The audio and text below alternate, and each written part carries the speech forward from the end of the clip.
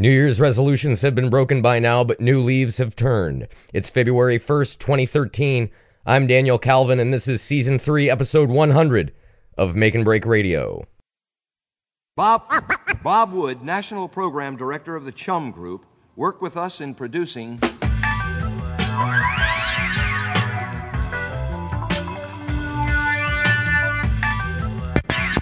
Hold, hold up, before we get started, Guess who's coming? Guess who's coming? Guess who's coming? Dan Calvin. back again. Who is he? Just your favorite DJ Savior. Using and confusing beats that you never heard.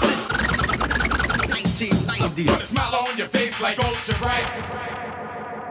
You're just fessing, man. I don't even want to hear about it. You're And just you're listening fessing. to Make and Break Radio on RadioMackinac.org. Usually at this early part of the show, I would announce the show number, the name of the show, and even my own name, but things are different this week. It isn't just February 1st. This show is an aural mile marker of a more profound importance. I'm going to call this episode 1, season 3 of Make and Break Radio. Why do I do this? Because this episode is all about changes in attitude, format, and inspiration. This is the start of Make and Break's third year. This is Make and Break Radio's 100th episode. Welcome, enjoy, and celebrate with me. I have some good music coming up, some silly things from this past week and the last few weeks at least, as well as some old recaps that have been used before but seem relevant now. Let's get on with the show. Recently, I saw on sports television something about a, uh, a fake award being given out to two brothers.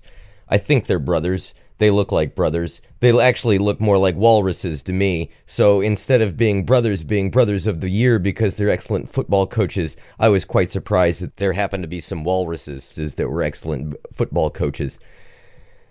That being said, that reminded me of an old bit I did about siblings years back.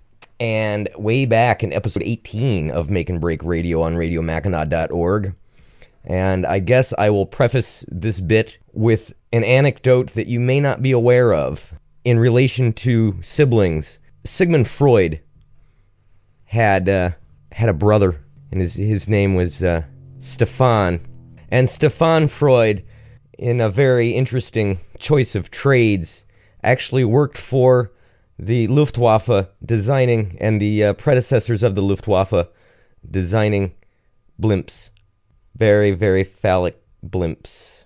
All right, here's Black Sheep Siblings from 2011. History books are filled to their bindings with the exploits and anecdotes of the greatest characters, men and women, that have occupied this earth. We know just how great Peter and Alexander were, how much more Caesary Julius was than the rest of the Romans. While these mavens of magnificent were not always magnanimous, they did leave their mark on society and history more indelibly than most common schlubs. That being said, they may have been extraordinary, but they, like everyone else, were human. Did you know that George Washington had a mole the shape of the state of Delaware on his left shoulder? Egyptian Queen Cleopatra never learned to ride a bike. Edward Teach, better known as Blackbeard the Pirate, only grew his menacing beard because he never was taught that he was left handed, thus rendering razors useless. On the other hand, sometimes an individual's own shortcomings are not the only source of embarrassment or ridicule for great men and women. A contemporary example is Dennis Quaid, who, according to IMDb, is an active and relevant movie star, as he has been for the last 35 years. Well, our pal Dennis has a brother named Randy, who once was a movie star himself. You see, Randy's crackhead wife has convinced him that unseen Hollywood elites are out to kill him, sending him down a spiral of debt, fear, and legal issues. Dennis, I'm sure, is proud to describe how his brother is living out of a Prius, moving from town to town on a nearly daily basis in Western Canada, trying to stay one step ahead of the supposed Hollywood whackers. Other great siblings of the famous and powerful include Billy Carter, President Jimmy Carter's brother, famous for making a failed attempt at name recognition based beer brewing. Who born before 1985 could ever forget Roger Clinton, Bill's brother, a third class musician and, and former cokehead, whom his brother pardoned before leaving office in 2001. There are some lesser known siblings of infamy that I'd love to share with you. Attempting to maintain some modicum of chronological order, I'll start with Genghis Khan's youngest brother, Altan Enk, a little known player in Mongolian horde life. He differed from his older, more barbarous brother by eschewing the life of the horseman, as he preferred to spend his days in the yurt back home, making handicrafts with their mother and Aunt Nergui. Leonardo da Vinci had a brother as well. Tony da Vinci had a decent nest egg built up by the time Leo caught him selling bootleg versions of Leo's masterworks at Milan flea markets. Antonius Stradivarius, maker of the famed violins, had several brothers who worked with him, creating instruments with unsurpassed tonal quality. One brother did not. Dale Stradivarius holds the ignoble record for inventing the kazoo, much to his family's chagrin. Count Dracula's mother was vegan.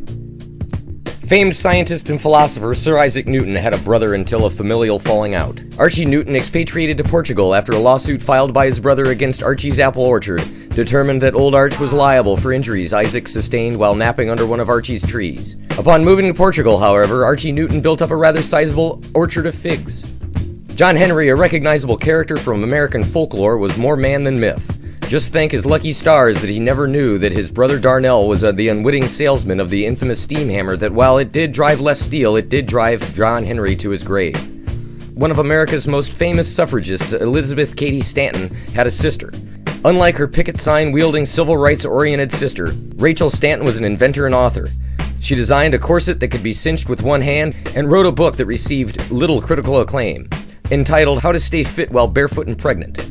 She later made millions after adding the pseudonym John Sterling and retitled her tome, Supper's Ready How to Keep a Wife. Thomas Edison had a sister.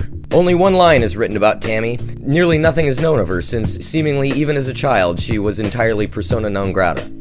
In one of his workshop notebooks, Edison wrote, The most licentious of harlots have nothing on my sister Tammy.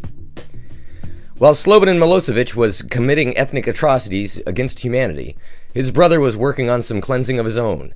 Miroslav Milosevic was the creator of the honey lemon cayenne pepper cleanse regimen and was a proponent of colonics. There you go. Now that that's all over, I'll think of my own brother and sister and try to imagine who of us is the black sheep.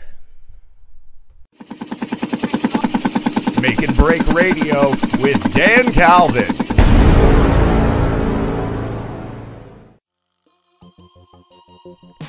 Why have I never seen someone in a movie actually have to crouch down on the floor and get on their hands and knees and reach in with their huge paws to extricate their mail from a P.O. box located ankle high in the wall of mailboxes? This is the problem with modern cinema.